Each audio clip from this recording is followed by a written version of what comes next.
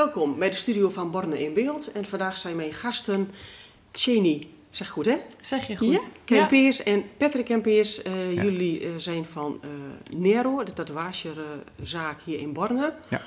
Eh, Patrick, ik begin dit gesprek met jou. Ja. Ehm, hoe ben jij in de tatoeagewereld beland? Ehm, nou, hoe ik ben, ja, ik heb mezelf het aangeleerd, dus ik kon geen leermeester vinden. Maar wacht even, ehm, waar komt die fascinatie dan eh, voor Die fascinatie, hoe het ontstaan is, eh, dat- dat, weet niemand. Mijn ouders weten het ook niet. Toen ik vanaf mijn derde, vierde begon ik om mezelf te tekenen. Ik heb waarschijnlijk ooit iemand gezien Ja? die eh tatoeage had, die indruk op mij gemaakt heeft.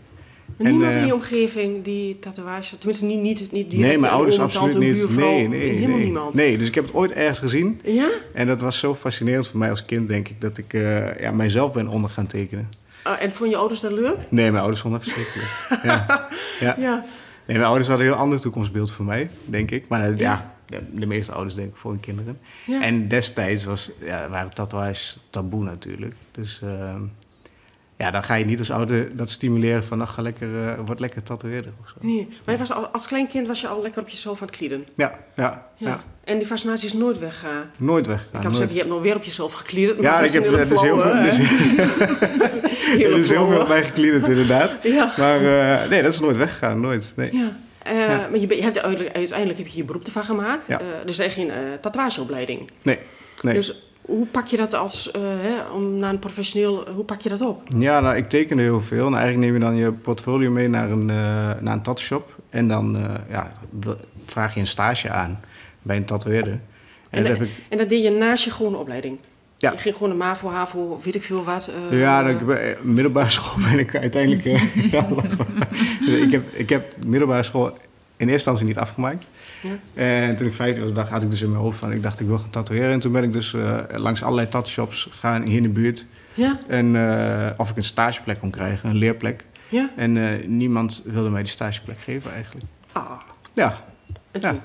En toen ben ik, ja, als ik iets in mijn hoofd heb, dan moet het ook gewoon gebeuren. Ja? Dus eh, toen ben ik gewoon gaan oefenen. Ik heb mijn eerste set besteld. Ik wist niet eens hoe een naald in de machine moest of eh, hoe, je, Helemaal hoe het allemaal werkte. Ja, en toen ben ik gewoon eh, ja, gaan leren. Maar wat ik in vier jaar geleerd heb, dat leer ik mijn leerlingen nu in een half jaar, denk ik. Ja, ja, ja, je Maar- moet echt door de vallen en opstaan. Ja, Ehm, maar die eerste tatoeage ook op jezelf? Om mezelf, ja. En zeg maar, ik kan me niet voorstellen dat een vriendje zegt van, oh, kom maar op. eh nog niet Nee, echt, zeker eh, niet eh, die leeftijd. Nee, maar ik ben eh, begonnen op mezelf. Ja. Ja. ja. mijn benen. Ja, Ja. Eh, daar moet je wel talent voor tekenen. Eh, ja. ja. Als je een goede eh tattooartiest, wij noemen het eh tattooartiest. Als je ja? een goede tattooartiest wil worden, dan, dan moet je wel talent hebben voor tekenen. Ja. Absoluut. En heb je uiteindelijk een leermeester gevonden? Nee. Je bent echt helemaal autodidact. Ja. Ehm, maar hoe kom je dan van eh, op jezelf en eventueel op een buurtjongetje of wat dan ook klieden? Ja, zo minderwaardig gezegd, hè, tatoeëren. Ja, ja. Hoe kom je dan naar een, een eigen bedrijf? Nou, eh, uiteindelijk vond ik mijzelf zo goed dat ik dacht van, eh, nu kan ik een tattoo beginnen. Ja. En dat heb ik ook gewoon gedaan. En was Nogmaals. hier? Hier in de buurt? Nee, nee, nee. Was, eh, de eerste tattoo was op de Kalkmarkt in Amsterdam. Oh, maar je komt, hier, je komt hier waar je voort. Ik kom hier vandaan, ja. ja, ja. Ik kom hier voort.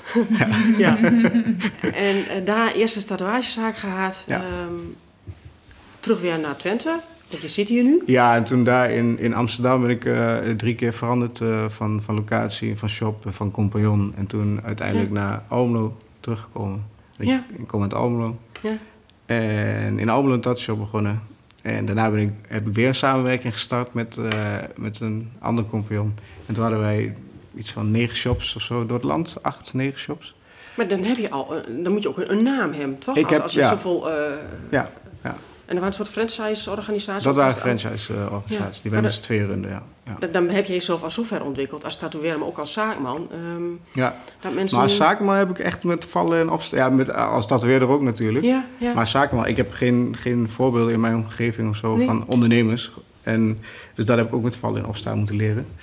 En, eh, maar ik heb inderdaad een goede naam opgebouwd ja, de, af- de afgelopen jaren. Ja.